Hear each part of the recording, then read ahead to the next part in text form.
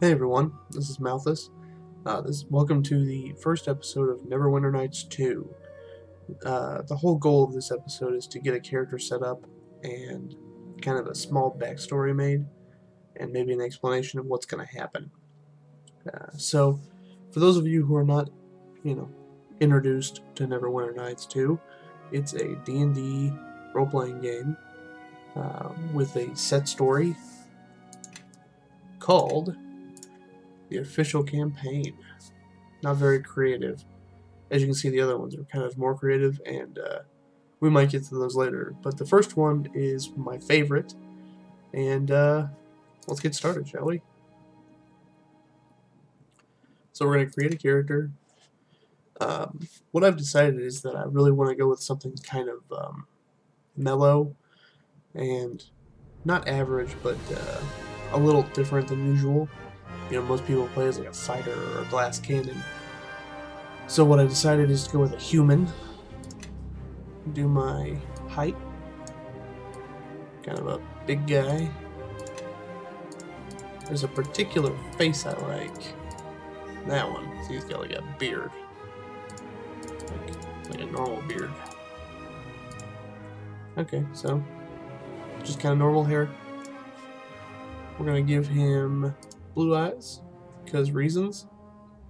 We're gonna give him slightly paler skin.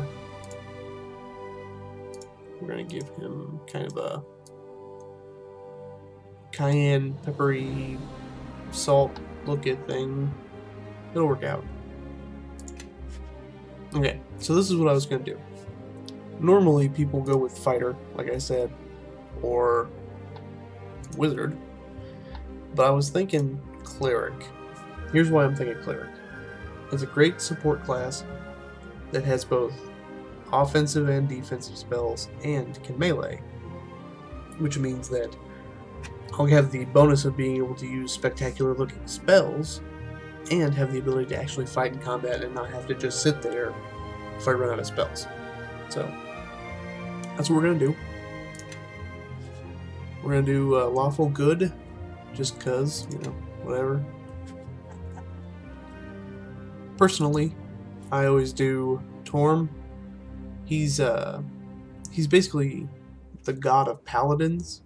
As you can see, duty, loyalty, obedience, and paladins. Now, it doesn't really matter which god you pick, because as long as you pick within your alignment, everything works out fine. Uh, not all the gods are listed because I chose a certain alignment. All the ones that are evil, or all the ones that are chaotic, don't show up. Uh, we're just going to use recommended because we need strength, we need constitution, and we need wisdom. And charisma is always good for your leading character. Uh, I don't really care to have one of these. I need diplomacy because I'm a good character, so I'm going to use it a lot. Um, but I do want this fortitude right here. Kind of like I want... What's that? If I can find it. Ah, okay.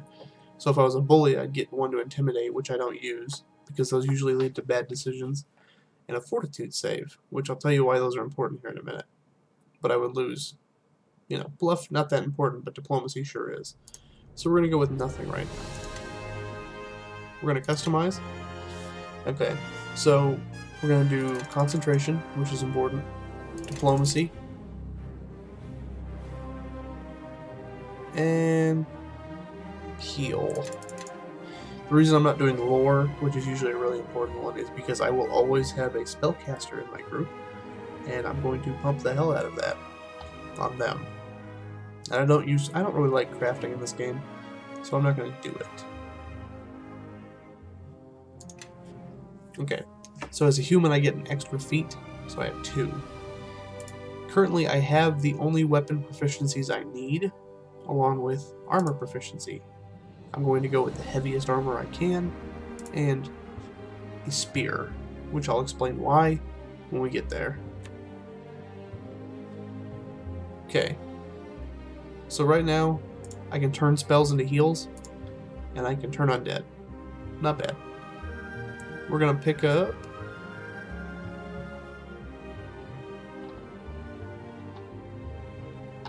that thing combat casting. There we go. And we're also gonna pick up uh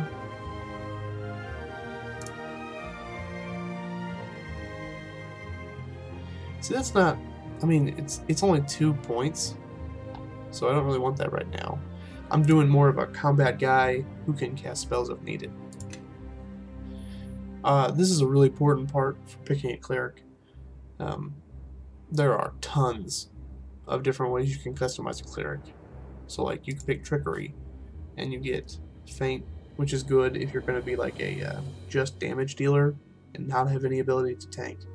And you get spells depending on what what domain you pick. So what I went through, I chose a couple different ones to look at. Um, magic is really good because you can see it increases your spell book, which is really important later on. And it increases it by giving you all these spells to be able to cast. You know, when you get to this level, which matters. Luck, really good. One to all saves, important, and one to AC. That's really good in game when you've already got like the best armor, and uh, you're not using any of your dex bonus because you're using that armor. Every AC counts.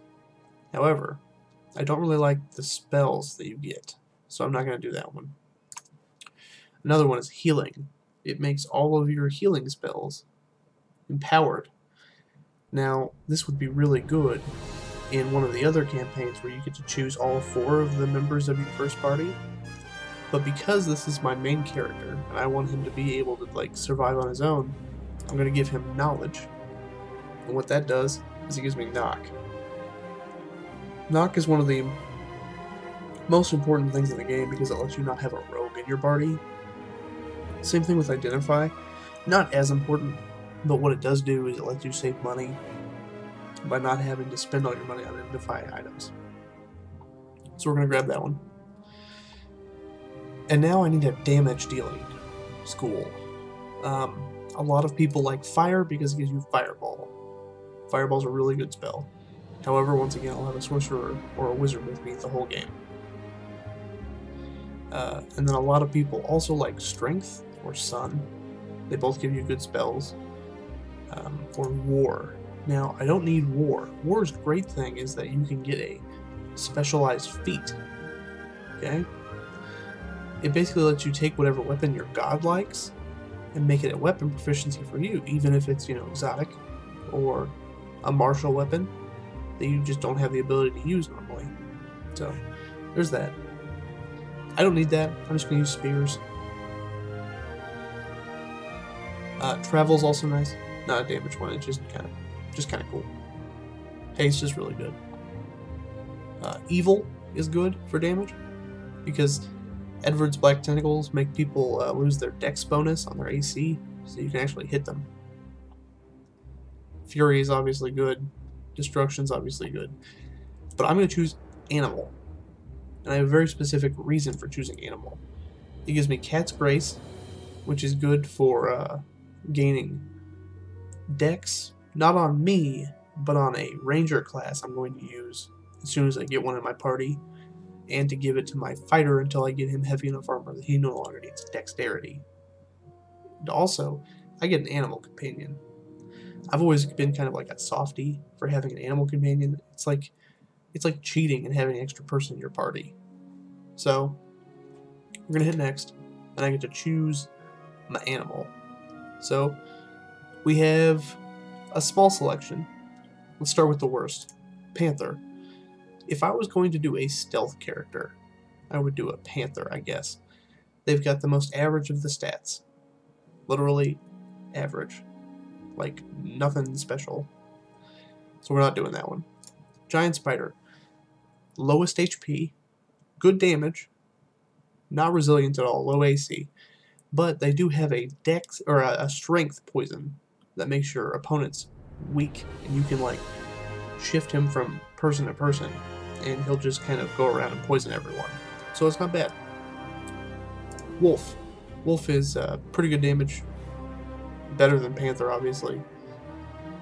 But it's just not great stats wise. It does have the ability to knock down, which is only good if you're able to micromanage it. And I don't really care to micromanage. Badger is the berserker of the animal kingdom, I guess. Honey badgers just don't give a fuck. I mean, look at this thing. It's tiny, but it's gonna fight anything. It can cast Fury, making it um, more powerful melee for a little while. And it can do that a couple of times a day as it levels up. But that's it's only good when it uh, Furies. So we've got Brown Bear and Boar left. Brown Bear, highest damage, great AC, good life. Boar, great life, like best, great AC, good damage. So I think I'm going to choose Boar because it will be a good intermediary tank for when uh, the main tank I use, Khelgar, is either incapacitated or not in the party. It's basically just always having that that thing you you can really rely on. So Giles, my boar. We're gonna go ahead and do random characters. We're gonna do Malthus, Usen, for no reason. Character's gonna be 32. See, the only problem with this is my character being 32 doesn't make a whole lot uh, of sense because, as you see in the story, we're like a foster child and we're still living with our father. So I'm gonna go ahead and bump that down to 23. And let's pick a voice, shall we? Attack! Ugh, gross. Attack! Kill them now! Wow. To the fight, my friends! Whoa. Attack! By my direction, attack! To your weapons, and don't let up. Attack! Attack! I say attack! Some of these voices are just terrible. Their time has come. No. Once more into the breach, my friends. Uh, Now you shall taste my power. attack! Leave no one standing. there we go. Okay, let's get to it. So many years ago today. Ah, my foster son is up and dressed, I see. Today is the High Harvest Fair, and the West Harbor Village Council requires me to man the archery competition. The right. need to celebrate Remembrance Days baffles me. But at least something productive may come of it. The merchant Galen is here. He'll want my furs, as he usually does. Coins can be useful in getting by. This past season has been a hard one, for both tilled fields and wildlands. While I attend to the archery contest, I will need you to deal with the merchant. Fetch my furs from the chest. Over by the painting. Okay, so I'm not gonna do the tutorial because it's a pain in the butt, and this game is pretty straightforward. So I'm sorry. Okay. West Harbor's annual Harvest Festival finally winds down late in the evening, flushed with the victory of claiming the Harvest Cup with your friends, Bevil and Amie. You were the center of the attention at the uh, evening's festivities before finally slipping away for some much needed rest. You look forward to a good night's sleep and a late morning, but sometime in the dark night you are awakened by a strange noise. Let's see what's going on.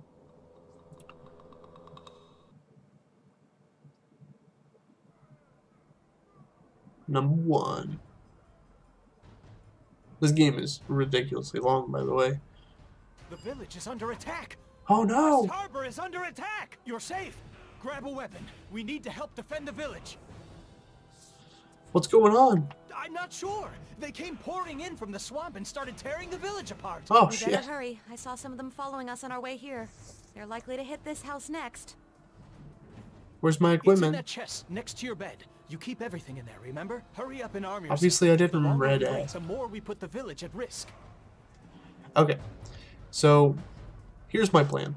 We've spent quite a while making a character, so I'm going to level up all my guys, show you kind of how the leveling process works, and explain to you my intentions going forward, and then we'll end it here for the episode.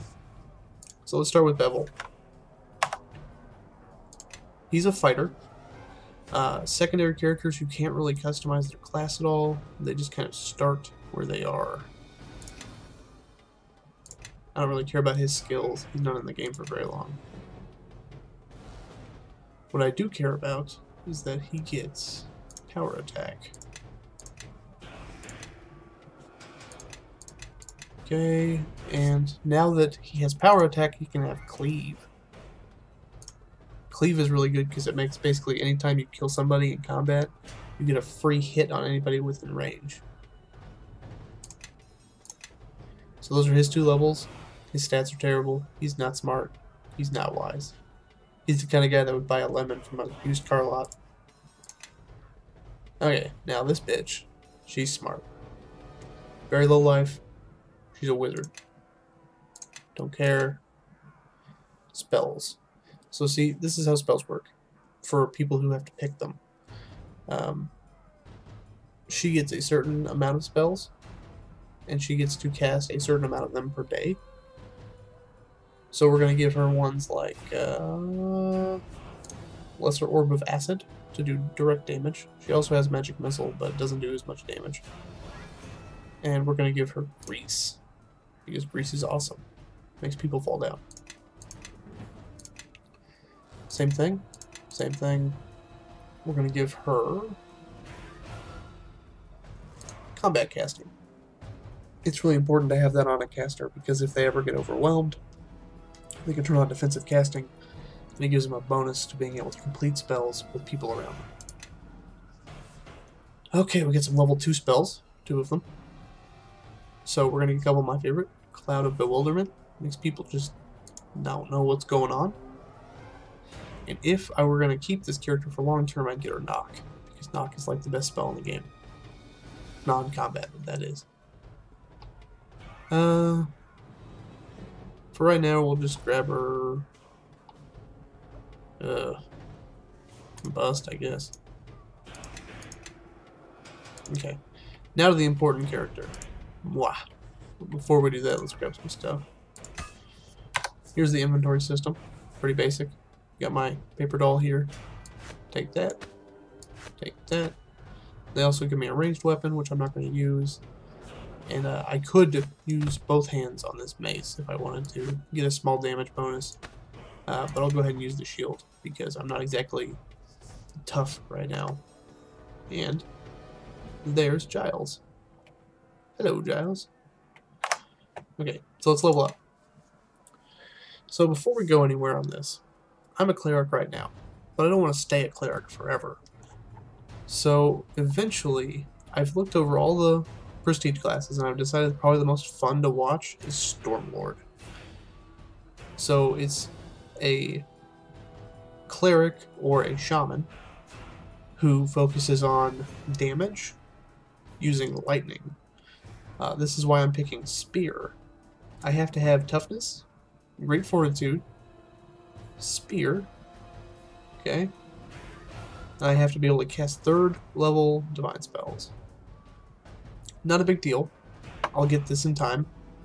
Um, I will pick this up, I think, either this level or the next. And I will start to work on these other ones. This comes in time too. What this does is it lets me use a spear and have even more damage by enchanting my spear with lightning but it also lets me keep gaining spells, so I get to cast more and more powerful spells. But that's for later on. So for right now, we're just going to grab another another rank of cleric, concentration, diplomacy, and heal. Okay. Every time I level up, my um, pet disappears. So I gotta resummon him. He just gets stronger. That's all it is.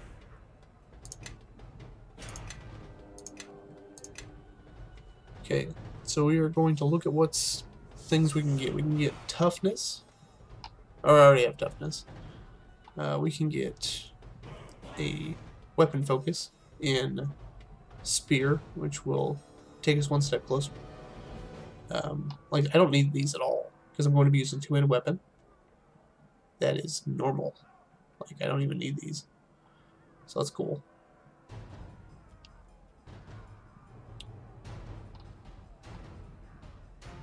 I'm gonna need to get this eventually. Uh, the cool thing about this was like it'll get me really close to having the necessary fortitude saves without having to really work at it. But for right now, we're gonna pick up probably spear. That way, the first chance I get, I get a spear. I'll have basically a plus one spear. Okay, so let me show you how this game controls. It's a little wonky. Instead of using, uh, as you can see, the, the camera, like if I just take everything off, camera does not turn. So I basically turn with my mouse and kind of follow my character as I move with my other hand. So it's a little wonky, but we should be able to do it just fine. Especially after I get into the rhythm, because I plan on doing slightly longer episodes than I did for uh, Metro 2033. Because it's an RPG, you're going to get into it. At least that's the hope. Okay, so I'm planning on doing episodes that are 30 to 45 minutes, maybe upwards of an hour if I can get the free time. I'm kind of, you know, at the mercy of the people around me. Who knows? But I hope you guys stick around and enjoy my Let's Play of Neverwinter Nights 2. Thanks for watching. Subscribe if you want to. Later, guys.